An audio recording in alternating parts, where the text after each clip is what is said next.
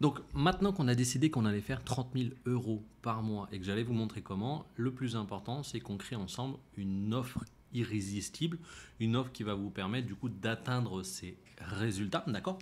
Donc ce qui est important en fait de comprendre c'est que très souvent vous faites l'erreur à ce moment-là. C'est-à-dire que soit vous vendez vos services, c'est-à-dire vous faites pour vos clients, ce qu'on appelle on donne for you, soit du coup là vous vous criez, vous avez plus beaucoup de temps, soit vous essayez de créer une formation en ligne, parce que vous dites, ok, ça c'est l'âge d'or, l'âge d'or de, de, la formation en ligne, il faut absolument que je mette une formation en ligne. J'ai vu qu'il y avait des gens qui s'enrichissaient avec une formation en ligne. Grosse deuxième erreur. Troisième erreur, je vais vendre du coaching, c'est-à-dire je vais expliquer à mes clients comment faire. Troisième grosse erreur. Il faut surtout pas commencer par ces trois offres-là. D'accord? Si vous voulez vous enrichir aujourd'hui sur Internet, si vous êtes déjà freelance, si vous êtes déjà quelqu'un qui fait pour vos clients, c'est-à-dire vous faites du done for you, il faut que vous créez une offre qui est scalable. Alors, on va créer une offre qui est hybride. D'accord? Donc, pour ceux qui ne me connaissent pas, je suis Florian Pouvreau. Sur cette chaîne YouTube, mon objectif, c'est de montrer étape par étape comment je crée un business qui rapporte 30 000 euros par mois. Vraiment, mon objectif, c'est de montrer comment créer un business minimaliste qui va te permettre de très bien gagner ta vie sans pour autant complètement griller et ne plus avoir de temps libre pour toi. vraiment, mon objectif, c'est t'aider à prospérer. Donc déjà, inscris-toi sur cette chaîne YouTube. Si tu veux suivre ce building public, dans la description de cette vidéo, du coup, alors maintenant, c'est plus en bas, c'est à droite pour certains. Vous aurez le lien pour vous inscrire, du coup, à la newsletter et au groupe WhatsApp de ce building public pour me poser vos questions. Donc n'hésitez pas à le rejoindre, c'est gratuit. Donc là, l'objectif, c'est de créer une offre rapide d'accès au marché. D'accord? L'objectif, c'est que vous ayez une offre le plus rapidement possible à vendre. Avec un lancement site, vous allez aller chercher 10 000 euros de chiffre d'affaires avec cette offre. Sinon, ça signifie que cette offre, n'est pas suffisamment bien pensée. Il va falloir la repenser. Mais surtout, ce qui est très important de bien comprendre, c'est que tant que vous n'avez pas fait 10 000 euros de chiffre d'affaires avec cette offre, il ne faut pas la créer dans le sens il ne faut pas que vous alliez tourner toutes les vidéos si c'est une formation en ligne. Il ne faut pas euh, que vous allez créer tous les exercices de tous les modules de cette formation ou euh, de euh, ce coaching si jamais c'est un coaching. Et, et, encore une fois, ne vous focalisez pas sur le mode agence que vous allez faire pour vos clients dans un premier temps. Ça serait une erreur parce que vous allez vous griller. Après, plus tard, vous allez pouvoir proposer à vos services, à vos clients vos services euh, en done for you. Ce qu'on va créer ensemble pour une ORAM, ça s'appelle un mentorat. En gros, un mentorat, c'est constitué d'une formation en ligne, de séances de coaching de groupe. Ça peut être toutes les semaines, deux fois toutes les semaines, une fois tous les 15 jours, peu importe. Et des séances de questions-réponses. Dans notre cas, par exemple, chez The Plan, donc notre mentorat qui vous accompagne à faire un lancement seed et à faire 10 000 euros de chiffre d'affaires garanti. Je vous mets le lien de The Plan euh, dans la description de la vidéo aussi. On fait euh, un rendez-vous toutes les semaines dans lequel on a d'abord des ateliers et ensuite on a des hot seats, c'est-à-dire tout le monde se pose ses questions et on s'entraide entre entrepreneurs pour avoir plus de résultats. Donc ce qu'on va créer, c'est un mentorat. Pourquoi on l'appelle offre rapide d'accès au marché? Parce qu'il y a plein d'éléments qui sont extrêmement importants. La première chose, c'est que la promesse de transformation que vous allez offrir à vos clients grâce à ce mentorat doit être sexy par le simple fait de la dire. C'est-à-dire que euh, si je vous montre par exemple ce qu'on partage en fait dans deux plans, dans deux plans on a un, outil qui s'appelle la matrice structurelle et vous voyez la promesse et l'objectif sont extrêmement importants. D'accord? En, simplement en annonçant, en mettant sur votre LinkedIn votre promesse, en la mettant aussi sur la page de capture de votre webinar par exemple pour un lancement, elle doit vous générer, elle doit générer de l'intérêt, elle doit générer de l'attraction. C'est presque la chose la plus importante. C'est-à-dire que peu importe ce que vous allez mettre dedans, si vous êtes capable de résoudre cette transformation, d'aider votre client à avoir cette transformation, à résoudre son problème, et que vous arrivez à l'écrire, et que quand vous l'envoyez par exemple par des messages privés, quand vous l'écrivez sur LinkedIn, vous avez de l'attraction, ça intéresse des personnes, vous avez déjà quelque chose qui est une NORAM. C'est-à-dire qu'on va aller vérifier après si on est capable de faire du chiffre d'affaires avec, mais vous avez une NORAM. Donc vous allez créer un mentorat. Vous allez décider si c'est toutes les semaines, deux fois par semaine, une fois tous les 15 jours. Faites pas moins parce que l'objectif en fait, pourquoi je vous dis qu'il faut faire d'abord un mentorat? C'est parce que ce mentorat, ça va vous permettre de vendre pour beaucoup de personnes, de vérifier si votre méthode est utile, fonctionnelle ou non. Vous allez voir qu'avec le retour de vos clients, parce que vous avez les groupes, vous allez adapter votre méthode. C'est jamais la méthode, c'est jamais l'idée que vous aviez au départ de votre formation qui est vraiment ce que vous allez produire et qui va faire des ventes. Donc vous allez vous adapter. C'est pour ça que je vous conseille d'avoir au minimum une période de 6, 1 an, 18 mois, entre on va dire 6 et 18 mois de test sur votre méthode pour ensuite commencer à créer une formation en ligne par rapport à cette méthode. Cette méthode où vous avez, euh, par exemple, je ne sais pas, que vous vendez 2000 euros et que euh, vous avez un rendez-vous par semaine avec vos clients pour les accompagner, pour vous assurer qu'ils aient des rendez-vous, bah là, en fait, ce que vous allez faire, c'est que au bout de 18 mois, vous allez créer une formation où il n'y a pas l'accès à vous.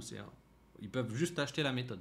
Mais elle aura déjà été testée par plein de clients pendant 18 mois, donc vous savez qu'elle fonctionne. Donc première chose, on crée un mentorat. Je vous ai dit que l'offre, elle était hybride. Parce qu'il y a les mentorats de groupe, mais ce que je vous conseille, c'est de au minimum mettre un ou deux rendez-vous de coaching individuel à l'intérieur pour que vous soyez sûr que votre client y suive euh, les méthodes et surtout pour pouvoir récupérer du feedback pour améliorer votre méthode. Alors ce que je vous conseille, c'est de faire, dans notre cas par exemple, on a trois rendez-vous.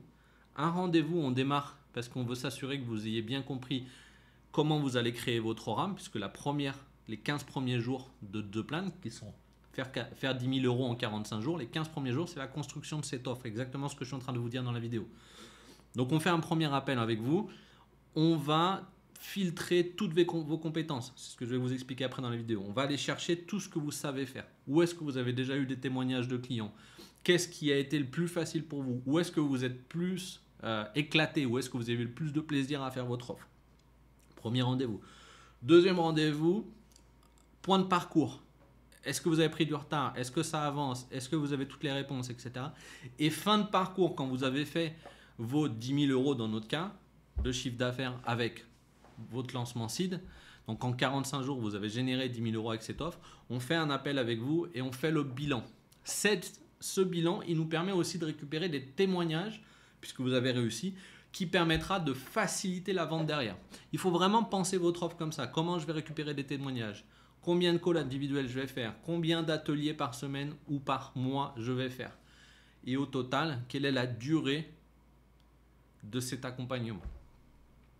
Encore une fois, une fois que vous avez fait ce mentorat, c'est là que c'est magique. Quand vous avez des résultats, que vous l'avez euh, suivi depuis suffisamment longtemps pour vous assurer que 80-90% de vos clients aient des résultats. Vous allez pouvoir en créer une formation où les personnes n'ont pas accès à vous. Vous allez pouvoir en créer du coaching individuel. Il y a des gens qui vont dire ouais mais moi le groupe, écoute j'aimerais bien passer à quelque chose où je suis plus individuel parce que j'ai plus de questions, j'ai les moyens. Vous allez pouvoir faire du coaching individuel. Nous par exemple dans le plan on ne le fait pas encore mais on va commencer à y penser.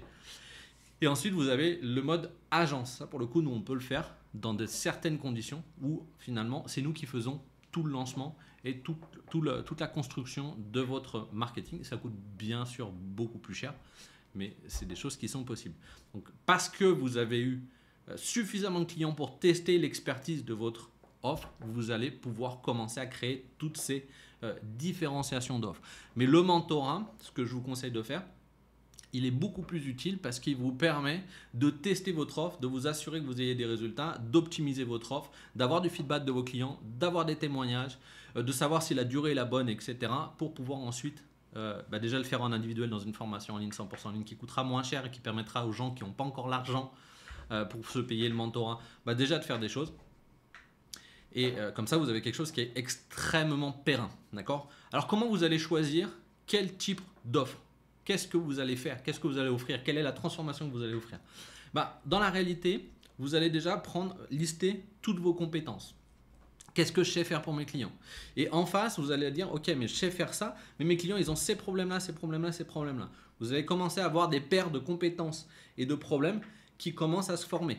D'accord? Là, c'est génial, mais vous allez maintenant devoir savoir quoi choisir. C'est simple.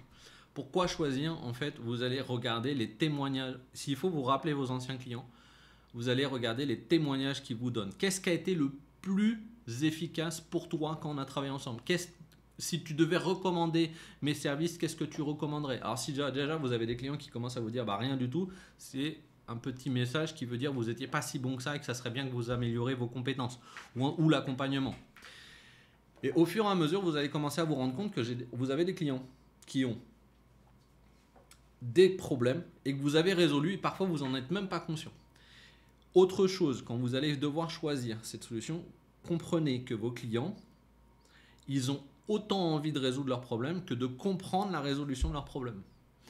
Et donc, ce que vous allez leur offrir, c'est pas que l'information de savoir comment résoudre leurs problèmes, mais c'est l'implémentation de la résolution du problème. Parce que une formation en ligne, souvent la problématique que vous faites quand vous faites une formation, vous faites un cours académique. Comment faire? C'est pas suffisamment opérationnel.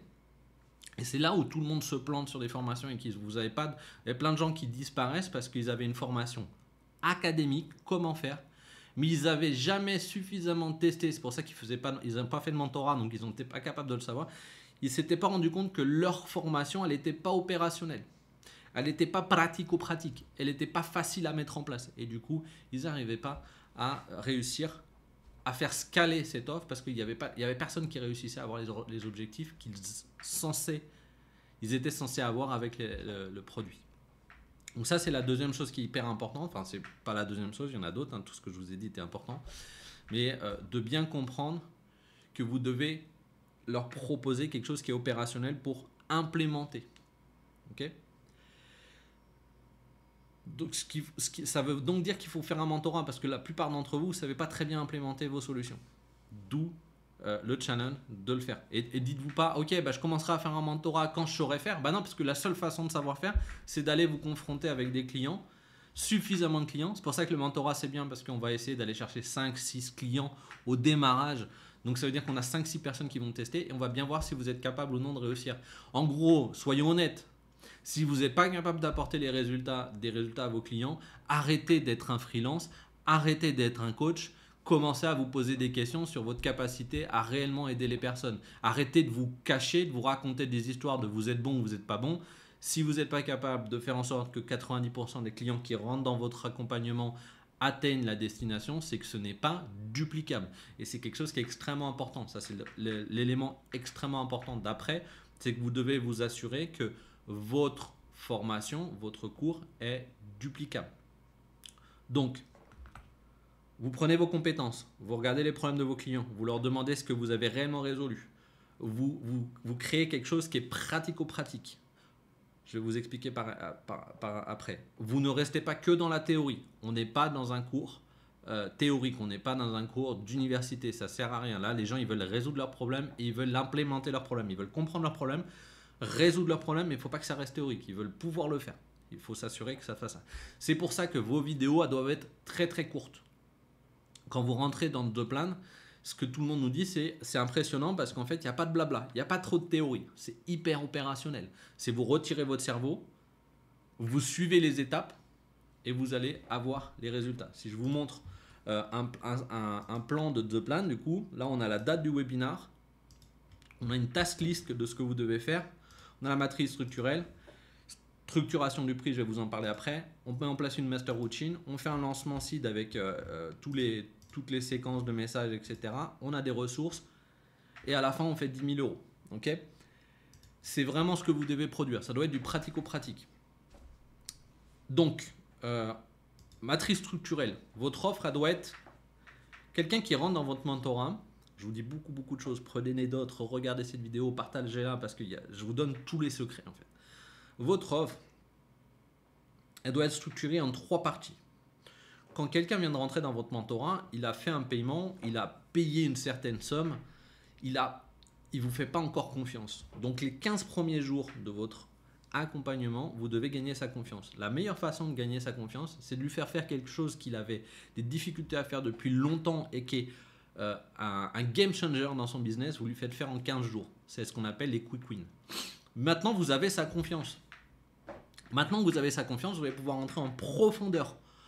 Lui faire comprendre qu'il y a des blocages qui sont plus profonds que son quick win. Et c'est pas juste son quick win qui va résoudre son problème. Là, vous rentrez en profondeur, vous l'éduquez, la confiance se crée, vous, lui faites prendre conscience de certaines choses. C'est absolument génial. Il a des résultats, il fonctionne. Et derrière, si vous voulez avoir des témoignages, il faut faire un over delivery. Il faut s'assurer qu'il ait des résultats qu'il ne s'attendait pas à avoir avec vous. Ça, c'est vraiment comme ça qu'on travaille. Encore une fois, si vous voulez qu'on vous aide à faire ça, rentrez dans le plan parce que c'est exactement ce qu'on fait. Vous voyez que c'est pas si simple que ça. 90% des gens qui se lancent dans le, marketing digital, dans le business digital, se plantent parce qu'ils veulent faire tout seul la création de leur formation. Déjà, faut pas faire une formation. Ils veulent vendre tout seul leur coaching. Il est mal pensé, il n'est pas suffisamment mature, ils n'ont pas de résultats, ils savent pas faire, ou alors ils font du, du coaching sur mesure. Ils se plantent. deuxième raison de se planter. Troisième, ils font du done for you, c'est-à-dire qu'ils le font pour leurs clients. Souvent, ils n'ont pas beaucoup de résultats et la grosse problématique, c'est que leurs clients, du coup, les challenge. Grosse problématique. Et en plus, c'est pas scalable dans un premier temps. Et ils le font à des prix qui sont pas suffisants pour bien vivre. La seule chose que vous devez créer dans un premier temps, c'est un mentor.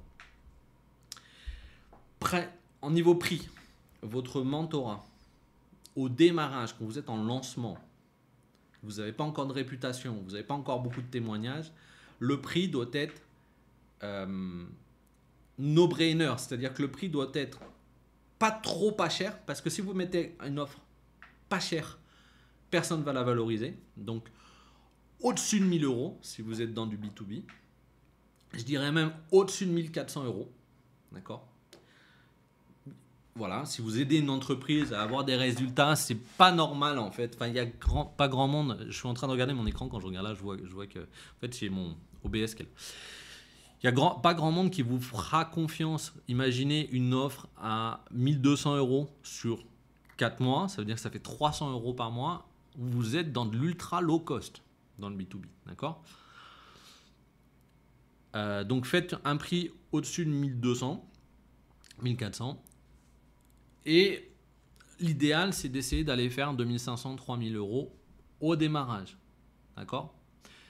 Vous allez augmenter les prix après. Vous allez proposer des facilités de paiement en deux fois, trois fois. Attention, en France, vous n'avez pas le droit de faire du six fois si votre accompagnement est moins de six fois. 6 mois. D'accord?